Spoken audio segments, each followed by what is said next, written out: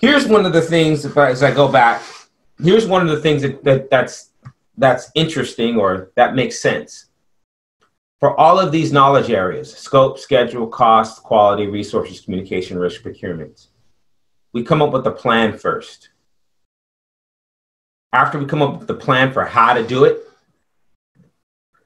and and and what we're trying to do is really based off the charter, right? We came up with a plan of how to figure that scope out, and then how to make it into a schedule, how to determine a budget, et cetera, et cetera. We had to identify the stakeholders first, and then we make a plan to engage them. Right? So just remember that for the exam. This this is the opposite. We're planning for folks that we've already identified. All right, so and our and our point here isn't about communication, but it's about engagement. It's about that some folks need to be involved real heavily in the beginning, not so much in the middle, and a lot at the end. And we need to have a plan to do that. And a plan to do that also involves communication, but those are separate knowledge areas. This is about engaging folks. So, current versus desired engagement. That's what we're looking at. That's what this process is about right? And we need an actionable plan so that we can achieve that that desired engagement. And that and that engagement level may be that um, when people come to meetings, uh, most of the time everybody has their laptop and they're they're they're typing in, and then when you ask a question, then they look up and sometimes they don't know, and we have to repeat the question. How do we engage stakeholders so that that doesn't happen, right? And there's a myriad of, of, of scenarios that we go through within our meetings and, and, and working with the different folks, but this is what this this this process is about. So yes, we take the charter because how you engage stakeholders is part of the plan to achieve the goal, right? That has a high level goal. We'll use the, the project management plan, specifically resource communications and risk, right? That makes sense in terms of dealing with stakeholders, but not limited to that, by the way. Um, same thing, when you see this project management plan and project documents, just because we have these listed out here doesn't mean that that's the exhaustive list of, of the documents that you would take into account. It's just the ones that you would likely in this scenario any contracts that exist because anytime you sign a contract with another party, they become a key stakeholder to your project. All right, make a mental note of that or write that down. Because by the way, that's that's another term that's not in the PMBOK, but is used on the exam all the time. A key stakeholder. Remember, we get our project management plan signed off on by the PM, the team, the sponsor, and key stakeholders. Well, anytime you sign an agreement, any contract, they become a key stakeholder to your project for the exam. As you're studying for the next, you know, three or four weeks, all contractors are key stakeholders. Okay, EFs and OPAs, we'll look at these tools and techniques, how we gather information about stakeholders, analyze it, make decisions, and then represent those decisions. And then the output is going to be an engagement plan. So let's start there.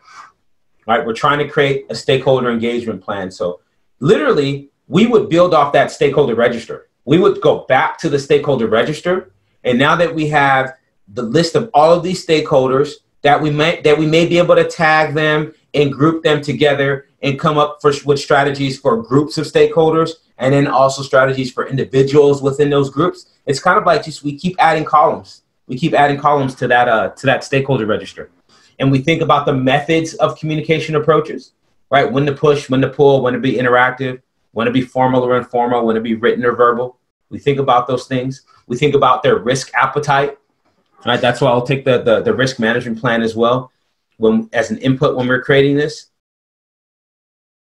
So this is the output that we're we're trying to get. It's just so this this is one of those that can you know even though it's a management plan as you as you think about it you know it's it's an extension of the document you know whereas even though with with risk we create a plan we track risk in a risk register that ultimately have a, a qualitative, quantitative, and risk response plan within the register.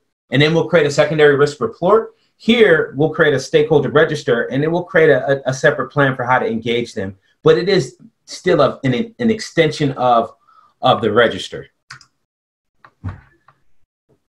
And that's what provides us sort of the information on, on our approach right? The charter, the register, any plans, right? So these are the key inputs that that we're going to take, along with any assumptions that we that we may have.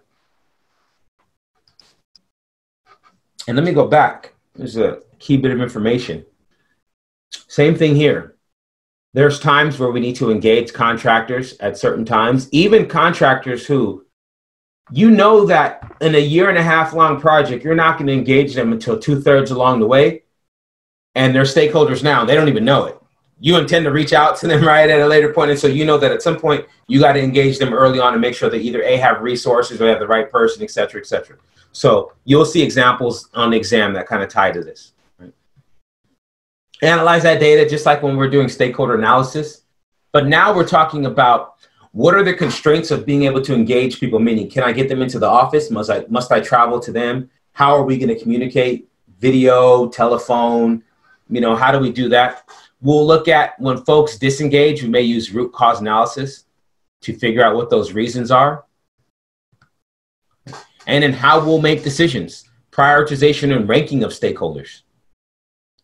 So if you remember when we did stakeholder analysis, we, we did all that analysis to determine, you know, what's their level of power, what's their level of interest, who should we manage closely, who should we keep informed, who should we keep satisfied, right? But now that we determined what we how, how we're gonna what we're gonna do, now we got to make actionable items to keep them satisfied, to keep them informed, right? To manage them closely. Now, so that's what we're doing here. We're now making actions to to to go and achieve those goals.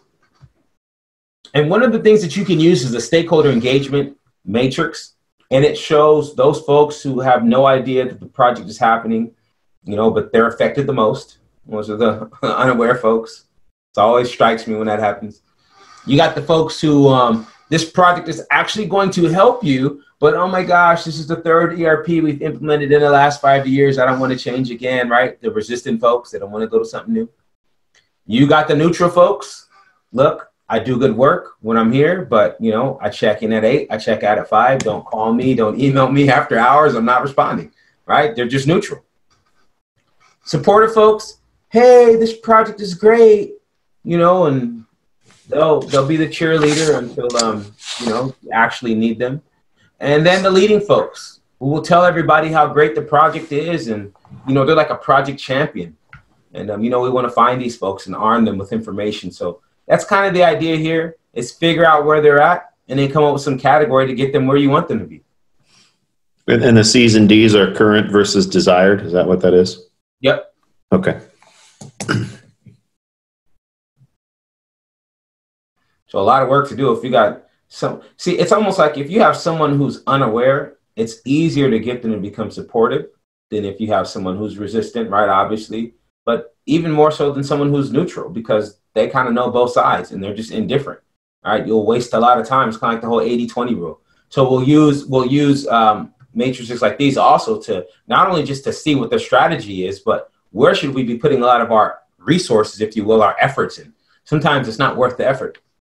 We may have a strategy and then determine, but it's not worth the effort.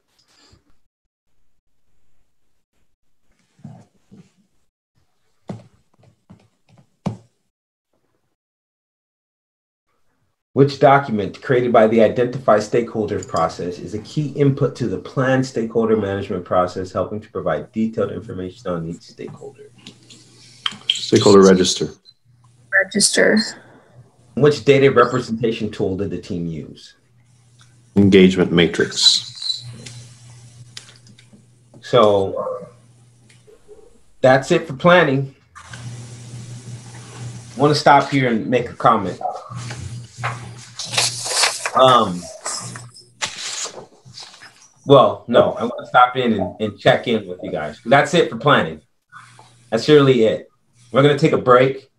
Um, I'm still trying to I'm trying to process how to do this, how to how to how to now jump from planning to execution. Because I like I always like for there to be some some time in between the two, right? Um, but I just want to stop here anyways and um, you know, think about your plans now, what you've been doing, relate this, and just what are your overall thoughts?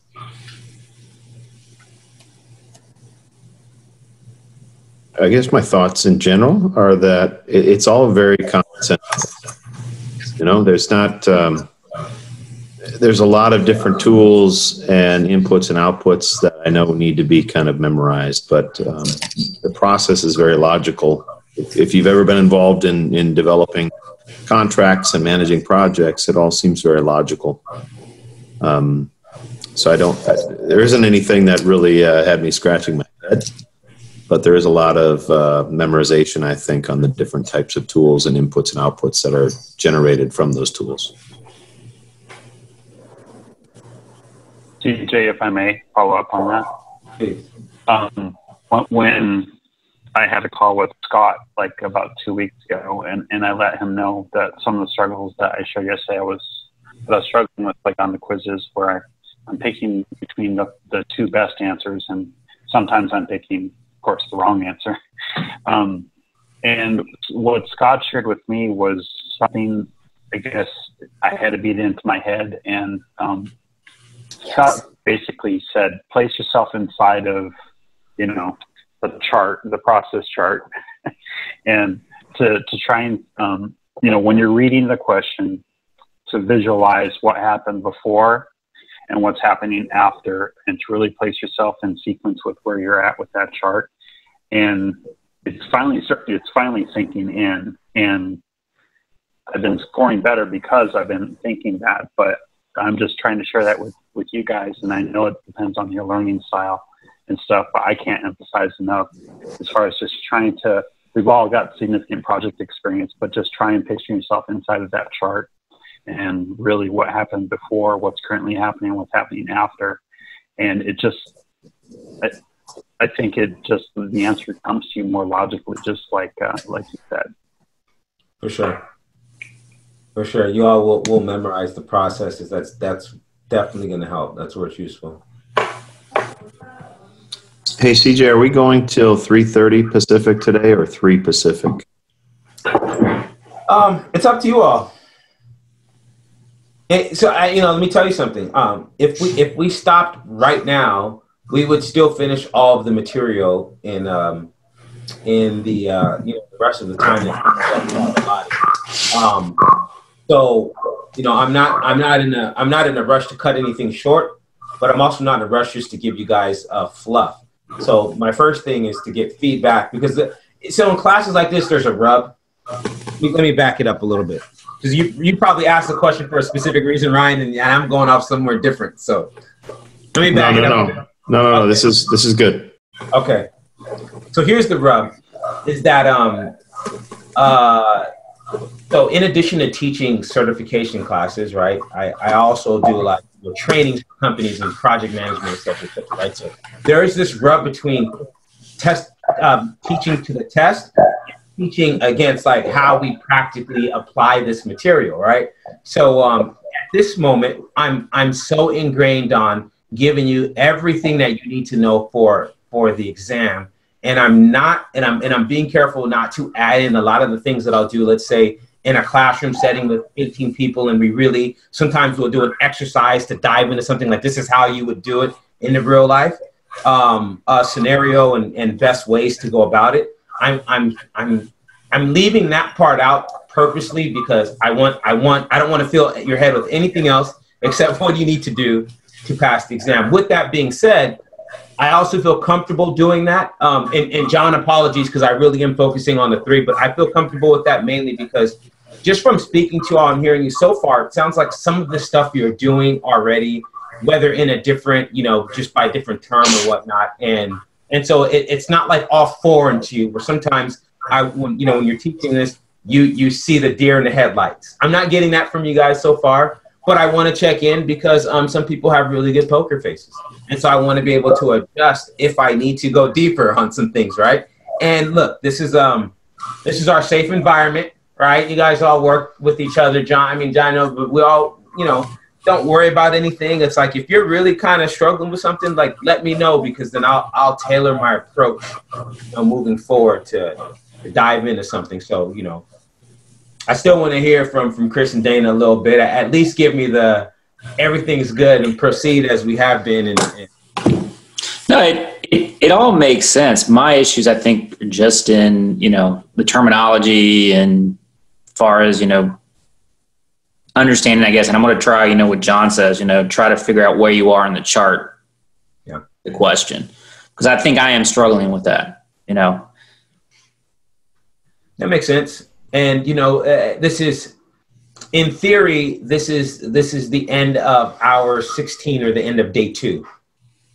So in two days, you would not be expected to know, you know, all you know, three weeks. Yeah, you'll be expected to memorize it. So right now, like, don't don't beat yourself up more about that, but more so. Um, but I'm glad that you recognize it and understand that too by the end of our journey here, what what I'm really what I really want to impress upon you guys is is going to be kind of what you're mentioning here, Chris, and it's going to be how you answer these questions. It's going to be less about what you know in content because over the course of time, as you read the PMBOK, as you take practice exams, as you memorize, you're going to absorb content and memorize. Like that's just going to happen. All right. So it's these it's these sort of test taking strategies and and um, you know when we get to that on the last day, I'm you know I'm really going to dial in on on that uh, because that's that that's the fast track to the success, you know, for this piece. So, so if everything is is is good here, then here's what I propose. We have two. We can definitely um we can definitely keep to a three o'clock schedule today. Okay. Um, looking at the calendar, and we'll just always do this every class. We'll kind of you know look forward and so we have we have one four hour session tomorrow excuse me, next week, a week from now. And likely in that session, we would get through all of execution and maybe a few processes in monitoring controlling. And then we have the following Saturday, Sunday, which is our last two days. And so then on Saturday, we have um uh we have that full like a full day Saturday, mm-hmm. and then we would we would likely finish before the end of of that, right? Because we've already been halfway through. We would finish at like 9 a.m. Pacific, so noon your time. We we would finish in four hours on that Saturday, and then we can use the other four hours to um you know either just go over and cover like however it's gonna be the full four, but at that point we'll start going for however long you need to cover anything that that you were unsure of and then you could take your exam um, at eight in the morning on Sunday, right? Start there, give yourself four hours. And then, you know, we might start a little bit later so you have a little bit of time to review, eat some lunch, and then we can review it. Or on Saturday, the first half we finish up. The second half of the day, you take the exam, and then we show up on Sunday and we um and we go over it then. So we have some options when we get there. I think when we get to the end of the course on um, on Saturday on the last week, we'll make the decision then if um, if you want to just take the exam the second half or if you want to cover additional topics, right? And then um, you know we'll go through there. But that's what it's looking like. That's how it's shaking out so far. Okay. And that's assuming if we stopped now so we're already going to push the schedule up a little bit because we're going to start to jump into execution a little bit now. Or let me give you guys the option too. It's up to you. I'm here the rest of the day. I'm not going anywhere. So I'll, I'll continue on as long as you need me to, or, or we can end here and, and regroup next week and just start with execution. I, I wouldn't mind pushing through with execution a little bit today. Okay. Uh, maybe, like you said, maybe it's a, a, three o'clock stop rather than a three thirty Pacific. Okay. Um, but I wouldn't mind. Let's do that. I believe. I believe in. So we're going to take a quick break. We'll come back. We'll have forty-five minutes, and I believe that we could get through one, two, three. We'll do these three processes because these three, I they should be done together so um, let's get here and, and see where we're at. And if we have time, then maybe we finish at like 305, 310. We'll see if we can do these three too. Okay, okay. let's take a quick 10 minute. Um, maybe eight minutes if that's okay. Come back at, at, at 15 after. Okay. Okay. All right, so we are now into execution not many processes in here. There's two, uh, six, eight, ten processes, and the majority, 31% of your exam, 62 questions will come just from these 10 processes. All right, majority, but I think it's it's what 31%, 30% monitoring controlling, 29% planning. It's something like that. And then like seven and nine initiating and closing in terms of the percentage of questions on your exam. So the vast majority uh, right here. Okay. Well, our whole objective here is to actually create the deliverables in this process group. Right? We want to actually create the deliverables. We want to get assignments for folks who are going to be doing the work. That's what we're trying to do here. And so um, we get the data. We get the data from uh, from the team as well. That's a key output in this in this uh, process group. Work performance data.